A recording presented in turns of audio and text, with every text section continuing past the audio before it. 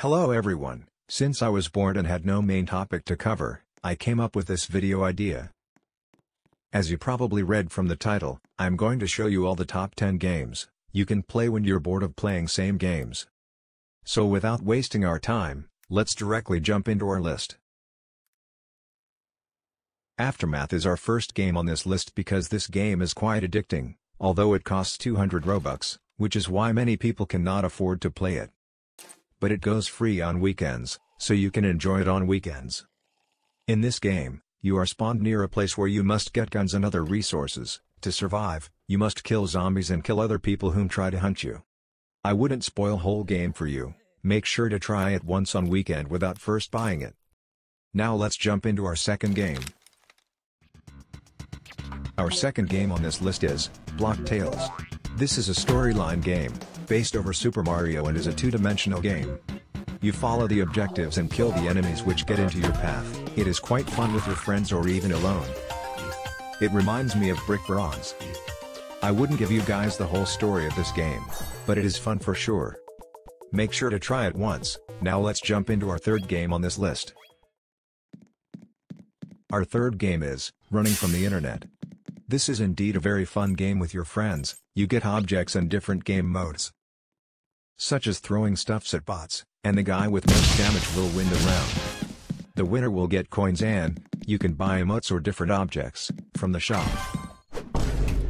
Very fun game, make sure to try it as well, now let's jump into our next game.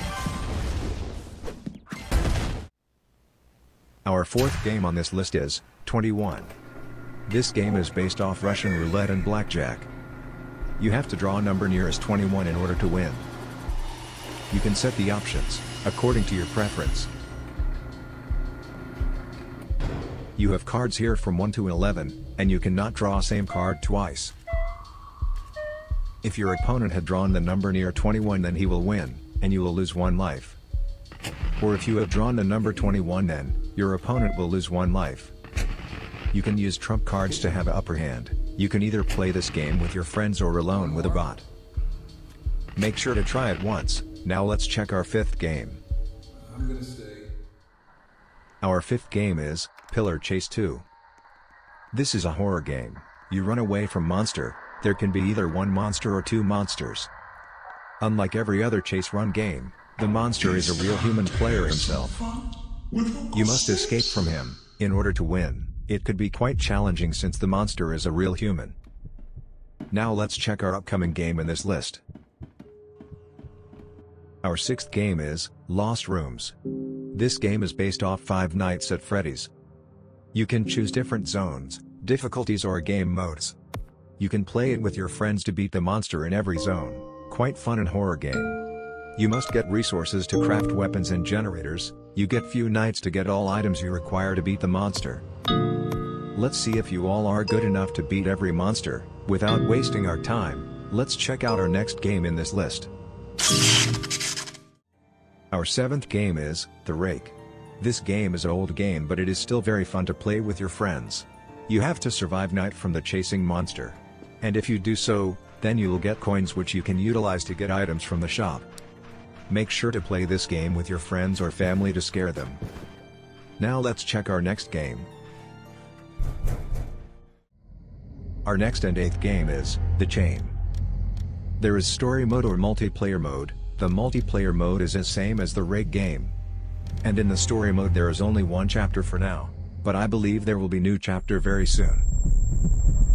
The graphic in this game are quite good, there are a few realistic scenes as well. Can you finish the chapter all by yourself? Let's see if you are good enough. Make sure to show me on Discord, if you guys manage to beat the game all by yourself.